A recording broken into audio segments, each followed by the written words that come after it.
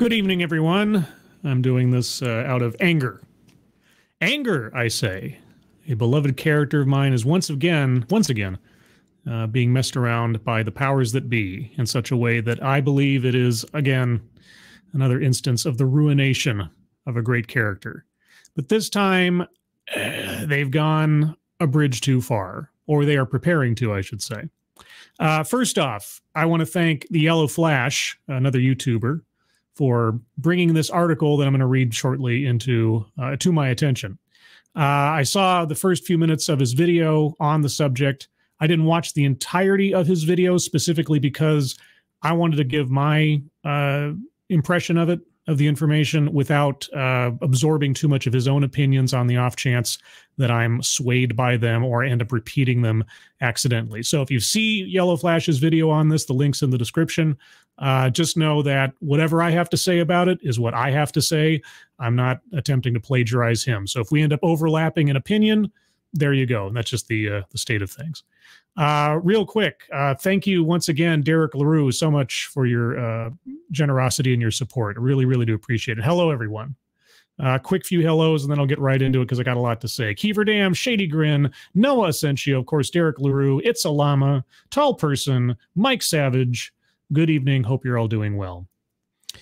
Uh, the Punisher first appeared in Spider Man number 129 in 1974. It wouldn't be 13 years until Punisher got his own ongoing series in 1987. Uh, the origin of the Punisher has changed very little in that time. Very little. And the origin of the Punisher is rendered in summary thusly Frank Castle and his wife, Maria were taking their children, Frank Jr. and daughter Lisa, both of whom were somewhere in the range of six to 10 years old, depending on the telling. Uh, they went to Central Park for a picnic. And during the course of that picnic, uh, the kids were flying a kite, and the kite got away from one of the kids. The kid chased, after the, the kite, and in the uh, occurrence of finding the kite, the child or the children or the family in general, depending on the telling, uh, witnessed a mob assassination take place in Central Park. And as a result of this, the Castle family was gunned down by these mobsters in order to prevent there being any witnesses. Everyone died except for Frank Castle, who survived. And after that, Frank Castle, a Marine veteran of Vietnam in the, in the original rendering, uh, went on a one man war on crime, both against those that killed his family and subsequently crime in general and criminals at large. That is the origin story of the Punisher, put simply. Um, and what is important for that character is that his family was taken away from him by random crime. Uh, and despite anything that Frank Castle may have done in his own past, as his you know further history would be developed over the years. Uh, he and his family in that moment in that instance all of them were innocent bystanders bystanders. They had nothing to do with the situation. Wrong place wrong time victims of crime. That's been the constant since uh, more or less since 1974 or pr- probably more appropriately 1987 because the character was still being fleshed out in those 13 years. Uh, there's only ever been one mild revision to that origin story that I personally, as a fan of the Punisher, ever approved of. And that occurred near the end of the Punisher Max series in the early to mid 2000s. Uh, I'm going to show you that panel now that sort of underlines the one revision that I always thought was a perfect addition to his origin story at least for the sake of adding tragedy to it. So, if you don't want anything spoiled for the Punisher Max series, because it is a major revelation of that storyline, best to look away for the next few minutes and otherwise but i'm going i'm going to ruin it for you now as it were. So let me share that real quick. Uh if i can find it here. Oh which one was it? Is it this one? I think it's this one uh, sorry, let me just double check, make sure I'm not going to bring up the wrong. I got a couple of things primed here for uh, sharing, and I just want to make sure I've got the right thing uh, pulled up. Uh, there it is. Okay. So let me uh, take away the overlay here that's causing me all the problems. Uh, I'm not quite sure how clear this is going to be. Let's see if I can zoom in on it a bit. So, in the course of this story, we see more about Frank Castle's origins uh, prior to the event in the uh, park. And what it has mainly to do with is the Punisher has returned home from, from Vietnam and he is having major problems adjusting back to the real world. And it is detrimentally affecting his connection with his wife and feeling like a father and a family man.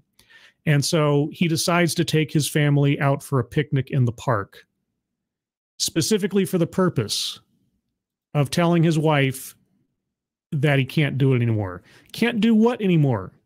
Maria asks. This, any of this. I can't pretend I'm something I'm not. Pretend, Frank, we're your family, and you haven't even given us a chance. You haven't even tried. If you want a divorce, I'll sign whatever papers you give me. You can have everything the kids, the house. But either way, Maria, I'm leaving.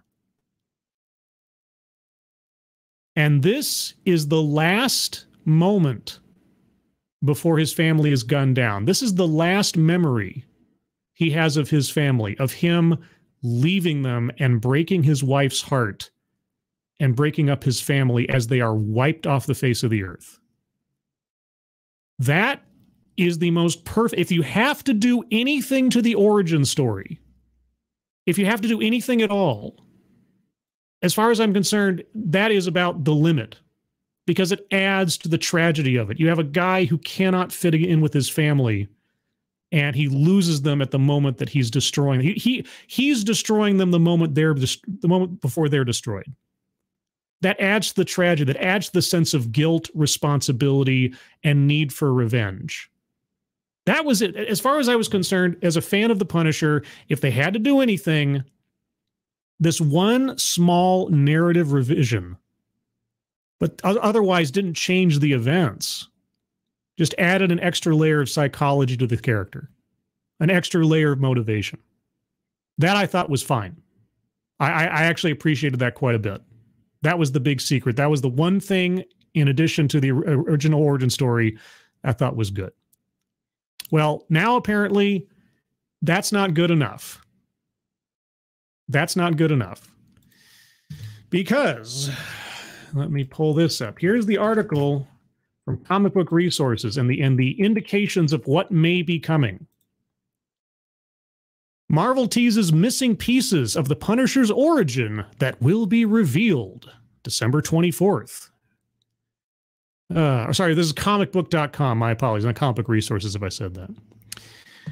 Marvel's latest solicitations have confirmed that more changes are on the way for Frank Castle with missing pieces of the Punisher's origin teased for an upcoming issue.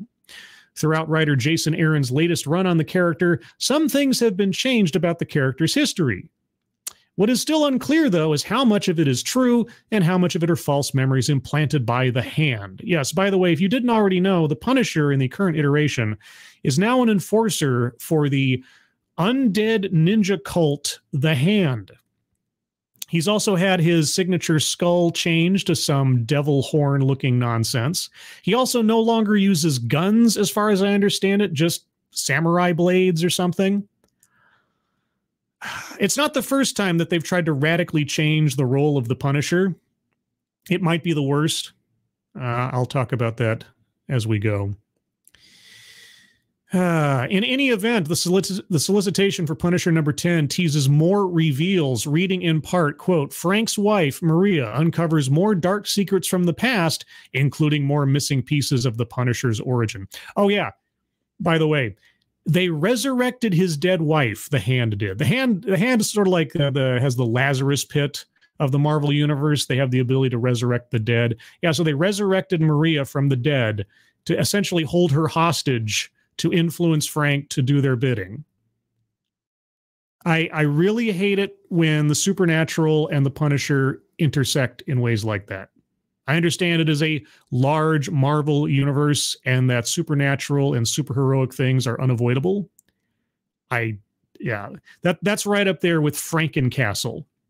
Yes, at one time the Punisher was a Frankenstein monster. It, it sounds about as smart and good as you can imagine. That's right. Frank's wife, Maria Castle, is alive and well, all thanks to the evil ninja cult, The Hand. When the Punisher was offered his position with the Hand, acting as the fist of the Beast and leading the group in dangerous fights, one of the conditions he demanded was that they use their resurrection technology to bring his wife back to life. The Punisher demanded this. See, I'm just finding this out now. The Punisher demanded they resurrect his dead wife. The Punisher would never do that. The Punisher is and always has been a for for everything else he is, he's still a Catholic. Uh, there are some things that you just don't mess with, and Frank Castle would not mess with resurrecting his dead wife or wanting his wife to be a zombie or risking anything like that. Nuh-uh. No. He asked they do the same for his children as well. But their science isn't perfect, and their young bodies have been dead for quite a while. Just as long as Maria's body's been dead, why can't they bring back the kids? Would that be too vulgar for Marvel Comics to resurrect dead children? As though that makes any sense for the Punisher to want them to do in the first place. In short, things are weird for the Punisher right now, and these missing pieces could very well change things forever for the Marvel favorite. Oh, well, they've already changed him forever. They've already changed him forever with any of this, taking away his skull, taking away his guns, making him someone that would want to bring his dead family back to life through evil ninja magic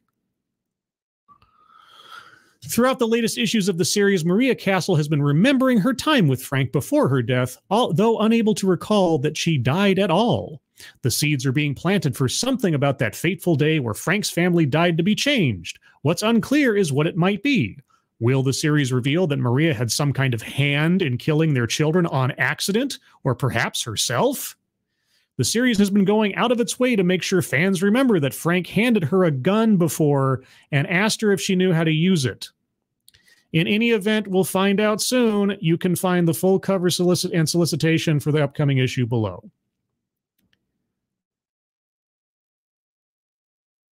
Okay. So, what could they possibly do? What could they possibly do that would ruin the Punisher?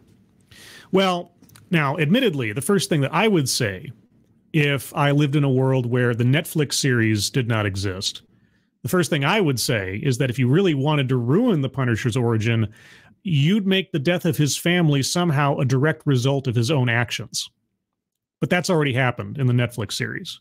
You know, take away the fact the Punisher, that Frank Castle himself was an innocent victim of that shooting, but somehow make it so that he was at fault, directly at fault, for his family's death. Now, I can kind of understand in the past uh, attempts to make and try to refresh the Punisher. Because in a lot of ways, he's kind of a static character, right?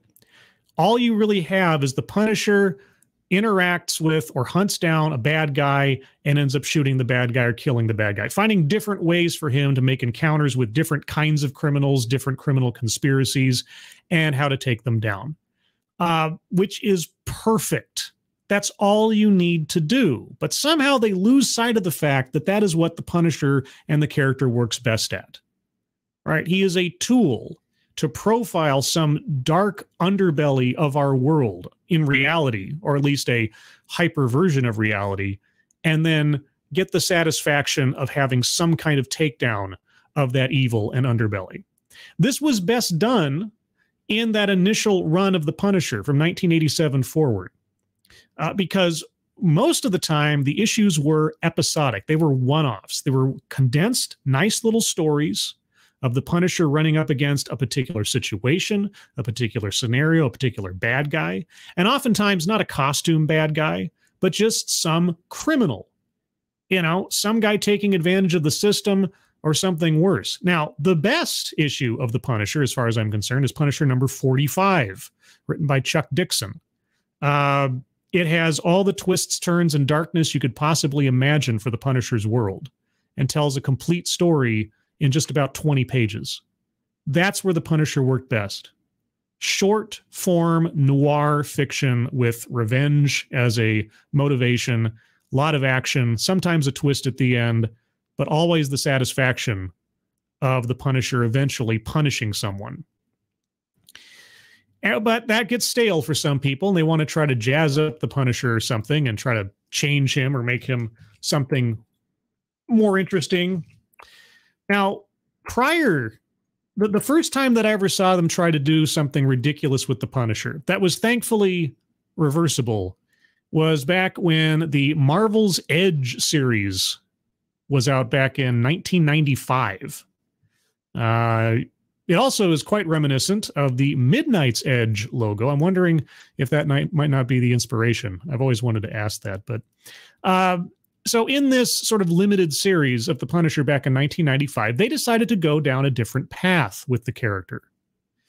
In this instance, they decided, okay, uh, after a long, epic arc where the Punisher hunts down and kills Microchip, his partner for many, many years. And Microchip arguably deserved it, depending on how you look at it. I won't go into that. I won't ruin that for anybody who wants to find out for themselves. Uh, the Punisher is arrested, he's put on trial, and he's put to death. But his death is interceded by a mob boss, a mob boss who rescues the Punisher from death and takes him aside and says, Hey, I'm old and I'm getting older and I'm not going to have much time left and I run this relatively peaceful crime family. So I want you to take over as head of my family. You're Italian, I can sell that, and you know the you know the city. It was this bizarre idea. What if the Punisher was the head of a crime family? What if he actually ran a segment of that infrastructure that he's been working to take down since his family was killed? when I read that as a kid, I thought, this is the stupidest thing I've ever read. The Punisher would never do it. It was the first time I'd ever seen, in my perspective as a, uh, a young teenager back then, uh, the Marvel Comics attempt to take a character like that and drastically change and sort of rewrite everything about what the character believed in or would do and try to fit that square peg into a round hole you know i mean i collected i collected the series because i was curious to see where it went. And it became readily apparent very quickly you can't have the punisher be the head of a crime family because every issue you have to have the punisher doing something. And heads of crime families usually sit back and do nothing and let their underlings do it but he was running around as quote unquote head of a mob family with the skull on his chest and shooting people. And after about, oh, I don't even know, it was like six or seven issues. It wasn't very long. Eventually, the whole thing had to be torn down because even the writers seemed to realize we can't go anywhere with this. This is not what the character is. This is not Frank Castle. He's no longer the Punisher if he's running a mob family, and it, it doesn't make any sense. And they got rid of that storyline fairly quickly and kind of returned to form for the most part after that. But now uh, they want to resurrect his wife, have him resurrect his kids, and they're hinting at Maria having had some hand in either the death of the family or maybe instigating the death of the family in some way. Or maybe she was maybe she pulled out a gun and fired at the mobsters in the in Central Park you know, and, and Frank didn't Frank wasn't the one to react first. In some way, shape, or form, I can only imagine now that they've neutered him by taking away his guns, resurrecting his now zombie family, despite the fact that he is a lapse but otherwise still believing Catholic. That they are going to somehow again emasculate Frank Castle, even at the moment of simply losing his family. And it's it, it is so infuriating to see. You know, is is there nothing sacred left? I know we've seen this. I, I, I'm so ticked off lately about what I've seen happen to Star Wars, and tangentially what I've seen happen on uh, in in empathy and in solidarity with Doctor Who fans, with Star Trek fans, with Witcher fans, what has been going on these last several years in just absolutely decimating things that do not need to be changed. They don't need to be revised for a modern audience. Go make your own stuff. Leave our stuff alone. Why is that so difficult? And they're they're seeing the fruits of those those efforts now. Uh, but somehow they still live in this bubble where it's like, oh, we have to improve things. The old ways were bad, and we know better now. We're so much more advanced. We're so much more enlightened than we were before. You know, this is not what society is anymore. We know better. We know better. So you strip a character of everything that made that character what that character was or what that franchise was and replace it with your your new enlightened better more up to date more sensitive version it's it's sickening it's frustrating me all the time i i i have such i have problems already trying to find something creative something to inspire me uh just just on the basis of storytelling right i, I want to tell stories I want to write stories. I don't know what's good anymore because I'll watch a TV show that is ridiculously successful and I'll sit there and there'll be blatant problems, blatant logic holes, blatant manipulation of the audience for emotional value. And and these shows get high ratings and they're also popular and da da da da da. And I'm sitting there going like, is am I am I just detached from reality? Am I missing something? Why should I care about this character? Why should I believe this scenario? This person should have died 17 ways from Sunday by now, and they want me to believe this person exists in a real world. Right? I'm told I'm supposed to like this character. Why? There's nothing likable about them. This character has some weird attachment to some dead person that they never establish why they have an attachment to this dead person, but it fuels everything that they're willing to do and sacrifice. I just got that watching uh, The Expanse for the first time, and that's not a new show. I mean, it's a good show, it's entertaining, but Thomas Jane's character, like, why? Speaking of the Punisher, Thomas Jane, I was like, Thomas Jane, I love Thomas Jane. Thomas Jane is a Punisher loyalist. But then I see what kind of writing they put in front of him or what kind of editing they did. And I'm left bewildered. Like, why am I supposed to believe this to be true? Why am I supposed to believe in this connection between this character or the other? How was this moment earned? And I'm not just talking about the expanse now, I'm talking about just in general. And so here we have again the Punisher somebody comes along, either being dictated to by higher powers and they have no choice, or their vision for the Punisher and how to update him by taking away his skull, taking away his guns, taking away the death of his family, and possibly even taking away his ability to defend his family in that critical moment. Right. And, and, like Maria had to be the one to step up. She was the one with the gun. She's the one who pulled it out and tried to defend the family when Frank was cowering in the background or something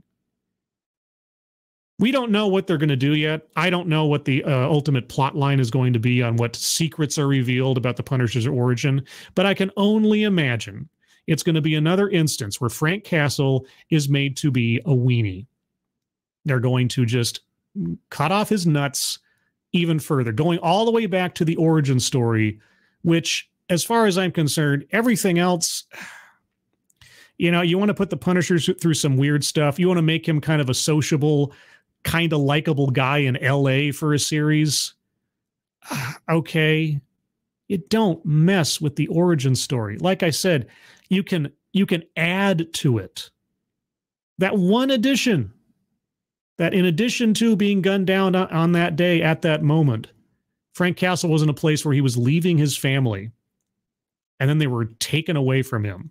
All possibility, all opportunity, all potential, all future gone in a moment where his mind was at, I'm leaving. I'm detaching myself. I can't do this anymore. And then the decision was made. There's no going back. Guilt trip city for a practicing Catholic. So, what do you guys think?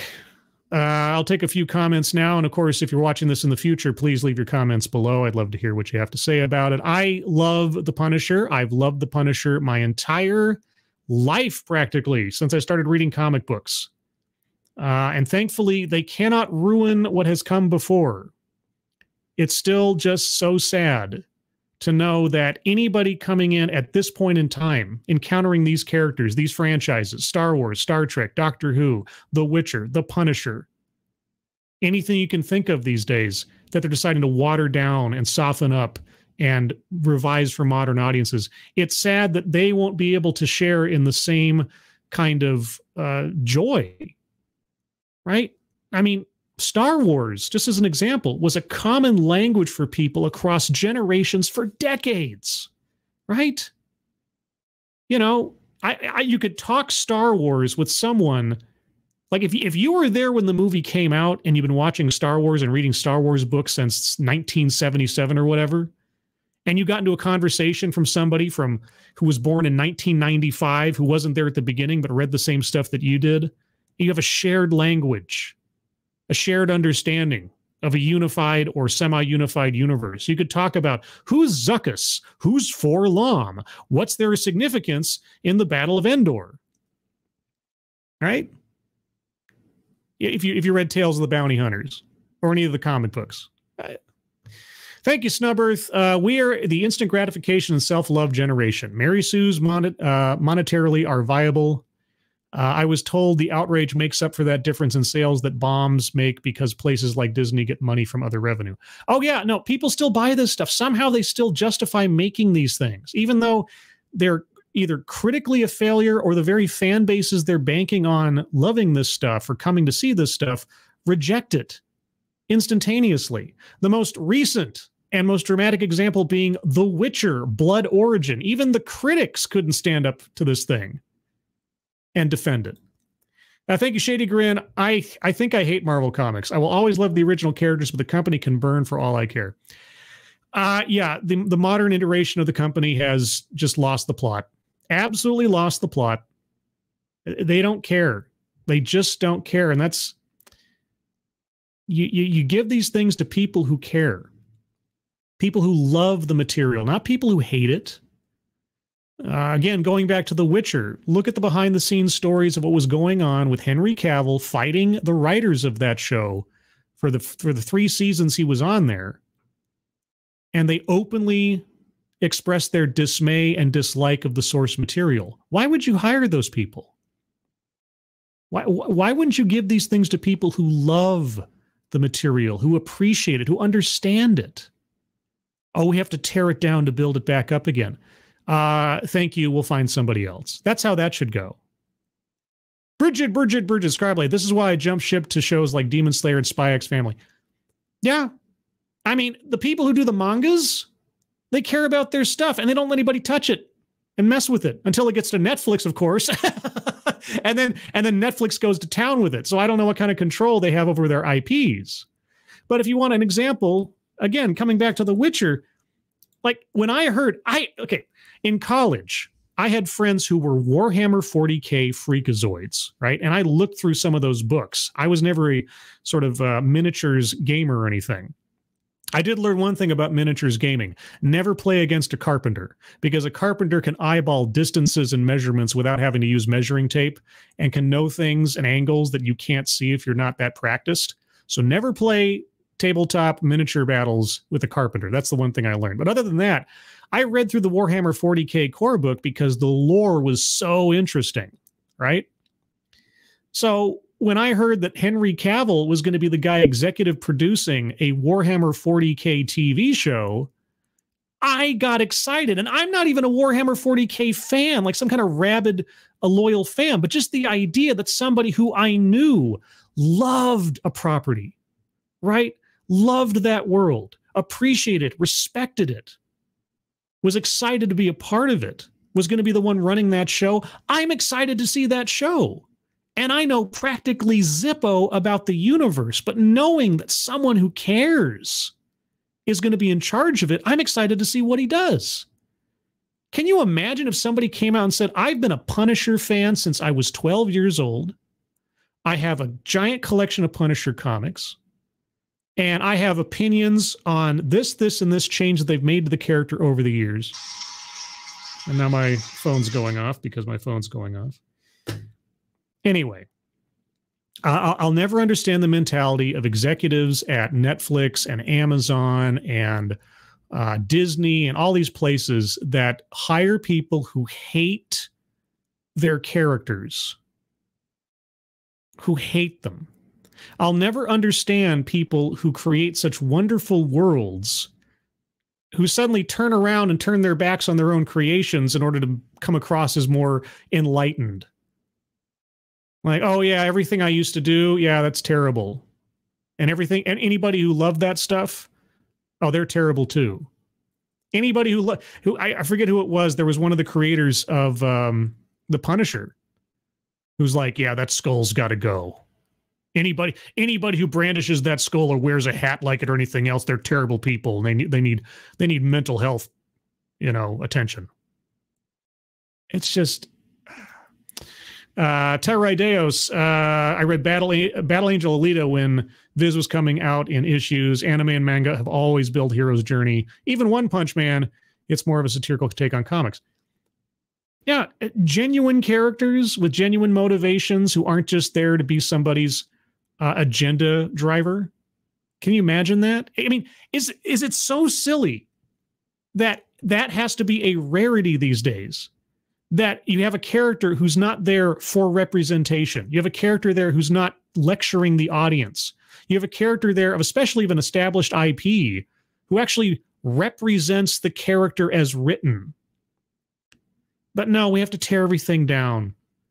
You know, Indiana Jones, his entire legacy of saying that belongs in a museum, that's wrong. That's wrong. Now we're going to correct all that and say Indiana Jones has been plundering other cultures for generations now, and we need to give those artifacts back to the people who who who uh, who own those things. Yeah, he, he's terrible, terrible old out of date white man. Just just wait, Indiana Jones five. It's going to be the ruination of Indiana Jones again, as if Crystal Skull wasn't bad enough, but this time he's been put into the hands of people who have a have an agenda, an ideology they have to fulfill. Now, thank you, Kiefer. People need to be original again. People need to appreciate that which was never broken in the first place, right? If it ain't broke, don't fix it. If there's a theme, if there's a method, that has worked, that something that is that you know a company or a IP is known for, stick with that. Right? Star Trek, it's about discovery and exploration and and moral quandaries. It's not about the action scenes or how many ships you can blow up. Shouldn't be. Right?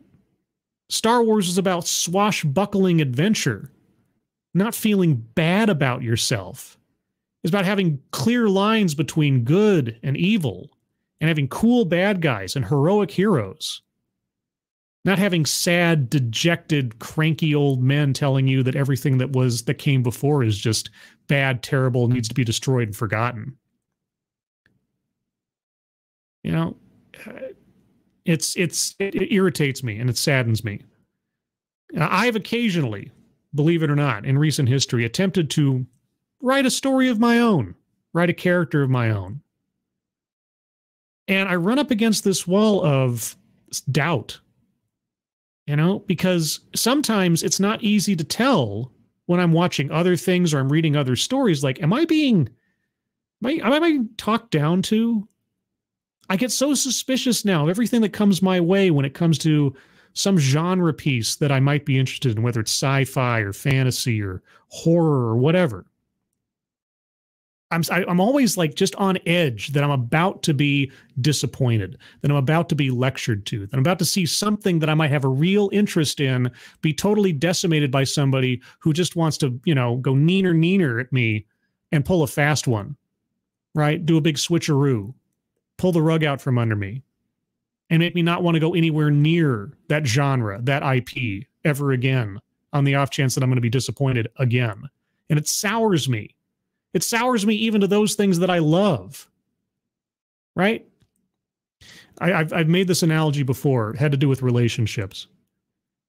Once you know that somebody's been lying to you, that you care about, that was important in your life, it's as if you take a photo album of everything you remember about that person and you take a big can of grease and just pour it in between all the pages of that photo album because every time you look back through those memories again, everything about that person, everything about your experiences with that person are going to be tainted, are going to be uh, mired in doubt about the legitimacy of that relationship. Uh, when did they start lying to me? When did they start deceiving me? And even though Punisher comic books, they're static, right? I can go back to them. I can go back to Punisher number 45 and relive that adventure anytime I want. And I can appreciate who the Punisher is, not what they've turned him into. But all the same, my love for looking forward to what happens next for the character dies off immediately. And so I have to enshrine these things as this is where it was good. And they can't take that away. I'm just sad that, you know, 10, 15 years from now, if I find if I come across somebody who's younger than I am, who's a fan of the Punisher, will we be speaking the same language? Will I have anything in common with someone who calls themselves a Punisher fan? I know I'm being very selfish right now, but that's how I make connections with people. Shared interests, shared passions. Right? This is this is how nerds socialize. This is how we do it. This is how I've always had to do it because I always had the biggest problem socializing with people in normal ways. It was always a matter of finding some shared interest, some shared passion, some shared enthusiasm over something that I made connections with people, people that I would never have met or connected with otherwise. And so when I see these things being altered and changed and rearranged and updated for modern audiences, it's almost like the Tower of Babel. You know, trying to build that big tower up to the heavens, and then all of a sudden, no one can understand each other anymore. You know, except that I'm being punished for loving the Punisher. Uh, Richard Parker, the Punisher should go back to his original skull logo and they need to drop the superpowers and the swords and pick up the guns. They need to go back to one issue episodic adventures for the Punisher. Little short stories of the Punisher and little noir situations taking down a bad guy or encountering something uh, just some moral test. I swear to God, if you go back to uh, the the first, I want to say 50, five zero issues of the first Unlimited Punisher series, 1987 and forward, and the first, say, 15 or 20 issues of Punisher War Journal. That is about as perfect an era of the Punishers you're going to find, just as far as format and storytelling. You know, sure, there are weak issues here and there. Some stories are better than others. But man, back back then they were covering some really heavy subject matter and putting the Punisher into some really heavy situations in those first 50 or so issues. And I'm talking heavy stuff. I'm talking controversial stuff. The Punisher defending a flag burner. Yeah, there's a there's a famous comic book cover, The Punisher, uh, sort of fighting off some unseen enemy in front of a burning flag defending the American flag. But the Punisher defends a flag burner. yeah, you want to talk about some interesting storytelling going on there. Uh, the Punisher finds a uh, a military academy where some, let's just say, very very bad things that they would never put into a mainstream comic, as far as subject matter is taking place at that military academy and the Punisher rightly takes down some very, very bad people. I won't go into too much. I don't want to risk getting any problems with YouTube here, but anyway, I'm starting to ramble. I'm starting to go on. I'll take another couple minutes for you guys, and then I will wrap up. Uh, Dylan Farnham, I think Kurt Metzger was talking about why they ruin all these characters was to push their own BS characters and kill off competition. Well, it's to it, it's sort of like an invading um like ant colony kind of thing, right? You come in, you take over, and then it's yours. It's it's it's the cordyceps, right? The actual cordyceps that take over like ants and bugs and things, take over their minds and start controlling their body so that they can then have the animal climb up to the highest point they can find, and then their head bursts open and all the spores go out. That's what it is. They find some functioning, popular, uh, attention getting entity to infect with their own agenda, their own uh, ideology, whatever. And so that builds up their career and then it moves on to other things and on and on and on. They don't care about the body that they're possessing. They just care it is a vehicle they can use to move forward. That's it. Just perpetuate itself. You know, and so they inhabit this shell. They they turn it into a shell of what it used to be. Just so they can turn it into an absolute robot with no life, no personality, no future other than to facilitate the ongoing nature of their own desires and agenda. They don't care about the character. They don't care about enriching the world or putting the character as is into a new situation and seeing what they do as that character. They want to change the character. They want to make it their own. It's not good enough. What you love, you don't get to love it anymore. I'm going to take that away from you. Uh, D5280, I'm going to only show my kids the original trilogy. All the rest is just well funded fan fiction. Call to cope, but I want to have the original three magic with my kids. Exactly.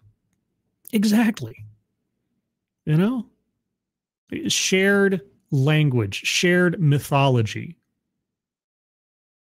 I just, they're, they're taking that away bit by bit, day by day. But Either way, everyone, I want to thank you for going along with me for these last 40 some odd minutes on this little rant, history lesson, and uh, complaint, I suppose. Uh, all I know is, is that the things that I love about the character, specifically the Punisher, again, in my mind, they'll never change. There is a correct Punisher origin story, there is a correct attitude of Frank Castle. And so, for every new comic book or iteration they put out of the character, for every version of him they write for a Netflix series that is just completely off base. And if you want to know my thoughts on the Netflix series, I have uh, review videos of those uh, on my YouTube page, which I think you might find interesting. They go into much more depth on these subjects than I have done here. Um, but uh, yeah, I, I it's it's really difficult for me. A, a, a lot of my a lot of the lessons and character traits and things that I had uh, shaped for me about the world came from these properties in one way shape or form. I'm not not completely you know but they were they were important. Star wars star trek the punisher spider-man uh, th- these things in a way are kind of like sacred. They are part of my common language with other people in a way. They're part of my growing up. They're part of my personal mythology and it it sours me every time I see someone who does not care about these things. Even things that I'm not some huge fan of, like Doctor Who, like The Witcher, uh, come in and decide that they know better, that they know better. They're going to fix it for us. I hope they learn their lesson. I hope the market finally teaches them a lesson as The Witcher Blood Origin is, as uh, so many other properties they're putting out there that don't make as much money as they thought they would start falling off by the wayside. But the only way that it's ever going to change is if people vote with their wallets. Otherwise, these fakers, these charlatans, these terrible writers, these know nothing, uh, incompetent producers, they'll keep getting away with it. They will keep getting away with it and somehow we're just going to have to rebuild it on our own, somehow, some way. I want to contribute to that. I don't know how yet. I got to find, I got to figure that out. That's that's going to be my New Year's resolution. How can I contribute to trying to add something new to this thing? I don't know. Either way, everyone, thank you so much for joining me. Moderators, thank you for keeping an eye on things, even though everyone here is so well behaved, you have very little to do. Everybody who donated, thank you so much. I did it again. I forgot to point out the top of the chat box the fundraisers to our friends Moonshock, uh, Angry Illinoisian, and his kitten. Please, I know uh, the time of year and everything else, budgets are tight, but if you have a couple of bucks to spare, please consider donating to them. They, their friends, and loved ones could certainly use the help. If you'd like to hear more from me, you can find me here Thursday night at 6 p.m. Pacific, 9 p.m. Eastern for another installment of TED Excellence, where I'll once again take a look at another off brand TED Talk for enlightenment and fun. I call it uh, fun lighten enlighten fun in in in that's what I call it. Everybody have a great rest of your Tuesday. Have a great rest of your week. Happy New Year for anybody I don't get to see otherwise. And please be safe and well. If you are not well, please get well soon. And I'll see you on the next one. Take care. Bye bye.